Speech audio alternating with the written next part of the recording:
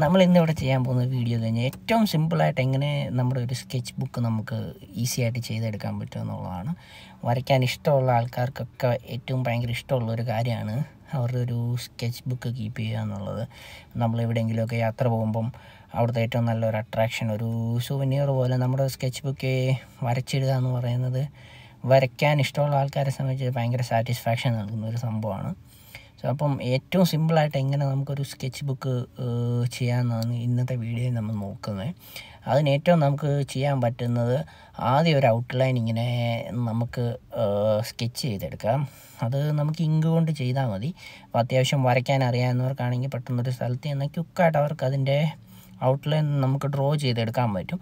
അതിനുശേഷം നമുക്ക് water colour use ചെയ്യാം. വാട്ടർ കളർ ആയിരിക്കും ഏറ്റവും സിമ്പിളായിട്ടും ഏറ്റവും നന്നായിട്ടും നമുക്ക് പെട്ടെന്ന് നമ്മുടെ സ്കെച്ച് ബുക്ക് ഡ്രോ ചെയ്തെടുക്കാൻ പറ്റുന്ന ഒരു മീഡിയം ബാക്കി ഓയിലും അല്ലെങ്കിൽ അക്രലിക്കൊക്കെ യൂസ് ചെയ്യാനായിട്ട് അതിന്റേതായ എക്യുപ്മെന്റ്സ് ഒക്കെ വേണം.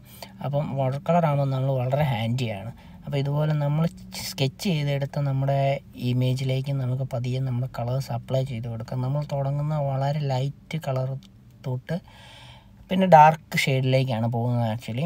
ഇതിൽ വളരെ സിമ്പിളായിട്ട് ഞാൻ ഡ്രോ ചെയ്തേക്കുന്ന ഒരു ഇമേജാണ്. ഇതിൽ നന്നായിട്ട് വാട്ടർ കളറൊക്കെ ചെയ്യുന്ന ഒത്തിരി ആൾക്കാരുണ്ട്. ഞാൻ ജസ്റ്റ് ഒന്ന് നമ്മൾ തുടക്കക്കാർക്കൊക്കെ എങ്ങനെ വേണം ഏറ്റവും എളുപ്പമായിട്ട് എങ്ങനെ ചെയ്യാമെന്ന് ജസ്റ്റ് ഒന്ന് പറയുന്നത് മാത്രമല്ല എന്റെ രീതി ഞാൻ ചെയ്യുന്നതേ ഉള്ളൂ. അപ്പം ഇങ്ങനെ നമ്മൾ ഏറ്റവും സിമ്പിളായിട്ട് ഏറ്റവും ലൈറ്റായിട്ട് വാട്ടർ കളർ ഇങ്ങനെ അപ്ലൈ ചെയ്ത് എടുക്കും. നമ്മൾ ഡ്രോ ചെയ്ത ഇമേജ് ആണെങ്കിൽ ആദ്യം ലൈറ്റായിട്ട് ചെയ്ത് കഴിഞ്ഞാൽ പിന്നെ നമുക്ക് അതിന്റെ മുകളിൽ ഡാർക്കായിട്ട് ചെയ്യാൻ കുറച്ച് എളുപ്പം ഉണ്ടായിരിക്കും. ആദ്യം തന്നെ നമ്മൾ ഡാർക്കാക്കി കളഞ്ഞാൽ പിന്നെ നമുക്ക് അതിന്റെ മുകളിലേക്ക് ഒന്നും ചെയ്യാൻ പറ്റത്തില്ല. പിന്നെ വാട്ടർ കളറിന്റെ ഒരു പ്രത്യേകത അത് തന്നെയാണ്. സോ അപ്പോൾ ആദ്യം നമ്മൾ ബിൽഡിങ്സൊക്കെ ഒന്ന് ലൈറ്റായിട്ട് വളരെ ലൈറ്റായിട്ട് ഒന്ന് ചെയ്ത് കൊടുത്തു. വാട്ടർ കളർ ആകുമ്പോൾ നമ്മൾ മുഴുവൻ പിക്ചേഴ്സും ചെയ്യേണ്ട ആവശ്യമില്ല ശരിക്കും.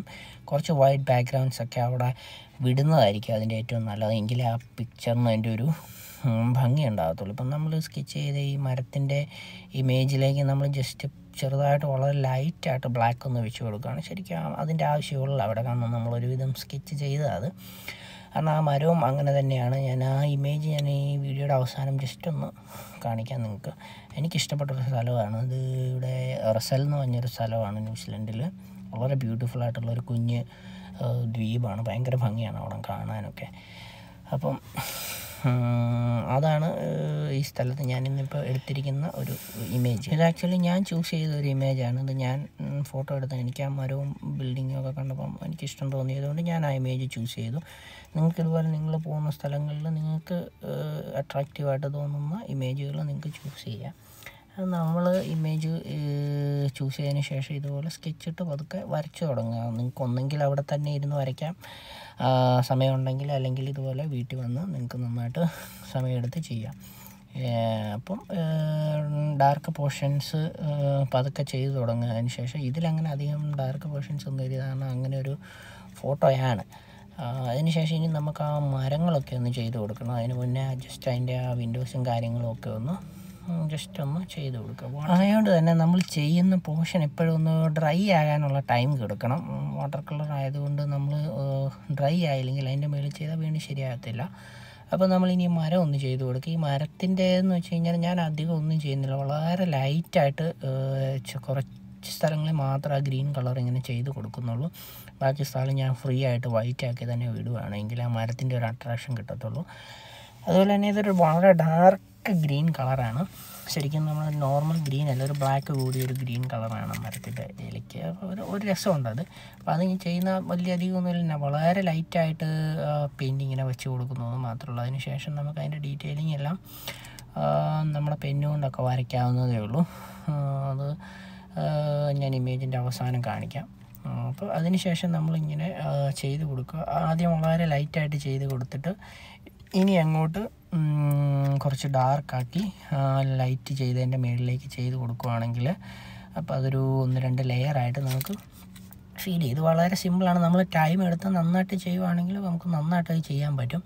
ഇത് ഞാൻ വളരെ പെട്ടെന്ന് ചെയ്യുകയാണ് വളരെ സിമ്പിളായിട്ട് ക്യുക്കായിട്ട് നമുക്ക് ചെയ്യാൻ വേണ്ടി ഉള്ള ഒരു മെത്തേഡാണ് ഇത് നമ്മൾ വളരെ ലൈറ്റായിട്ട് ചെയ്തു. അതിന്റെ മുകളിൽ കുറച്ച് ഡാർക്കായിട്ട് വെക്കുക. ചെറിയ ചെറിയ ബ്രഷുകൾ യൂസ് ചെയ്ത്. കുഞ്ഞിലകളാണ് ഈ മരത്തിന്റെ അപ്പം അതുകൊണ്ട് അത് കുറച്ച് ഡാർക്കായിട്ട് ഞാൻ ചെറിയൊരു ബ്രഷ് വെച്ച് അതിന്റെ മുകളിലേക്ക് ചെയ്ത് കൊടുക്കുവാണ്. അതിനുശേഷം ഇനി നമുക്കതിന്റെ ബോർഡർ പോർഷൻസ് ഒക്കെ ഒന്ന് ചെറുതായിട്ട് ഡാർക്കാക്കി കൊടുക്കാം.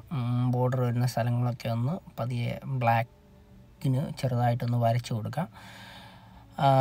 ഇനിയിപ്പം നമുക്ക് ചെയ്യാനുള്ളതെന്ന് വെച്ചാൽ നമ്മൾ സ്കെച്ച് ചെയ്ത ആ ലൈൻസ് ഒക്കെ ഒന്നുകൂടെ ഡാർക്ക് ആക്കുക എന്നുള്ളത് ഞാൻ അവിടെ ഡാർക്ക് ചെയ്തിരുന്നു. അത് പ്രത്യേകിച്ച് നിങ്ങൾക്ക് കാണിക്കേണ്ട ആവശ്യമില്ലാത്തതുകൊണ്ട് ഞാൻ പിന്നെ കാണിക്കാൻ നമ്മൾ ഓൾറെഡി വരച്ച് ആ ബ്ലാക്ക് ലൈൻസ് ഒക്കെ ഒന്നുകൂടെ അതിന്റെ പുറത്തൂടെ വരച്ചു. നമ്മൾ പെയിന്റ് ചെയ്തപ്പം മാഞ്ഞു പോയതൊക്കെ ഞാൻ ഒന്നുകൂടെ ഒന്ന് വരച്ചു എന്ന് മാത്രമേ ഉള്ളൂ. അങ്ങനെ ഓൾമോസ്റ്റ് നമ്മുടെ പെയിന്റിങ് നമ്മൾ ഫിനിഷായി ഒരു ഫൈനൽ ടച്ചപ്പ് ഒക്കെ കൊടുത്തൊരു ഇമേജാണിത് പിന്നെ വേണമെന്നുണ്ടെങ്കിൽ നിങ്ങൾക്ക് സ്കെച്ച് ബുക്കിന്റെ താഴെ ഏത് സ്ഥലമാണ് ഡേറ്റ് ഒക്കെ വേണമെങ്കിൽ എഴുതാം.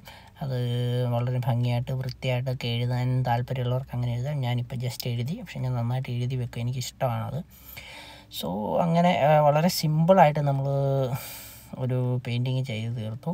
ഇതാണ് ഇമേജ് സോ വീഡിയോ എല്ലാവർക്കും ഇഷ്ടപ്പെട്ടെങ്കിൽ സബ്സ്ക്രൈബ് ചെയ്യുക സപ്പോർട്ട് ചെയ്യുക. വേറെ വീഡിയോ ആയിട്ട് നമുക്ക് വീണ്ടും കാണാം. അതുവരെ ബൈ താങ്ക്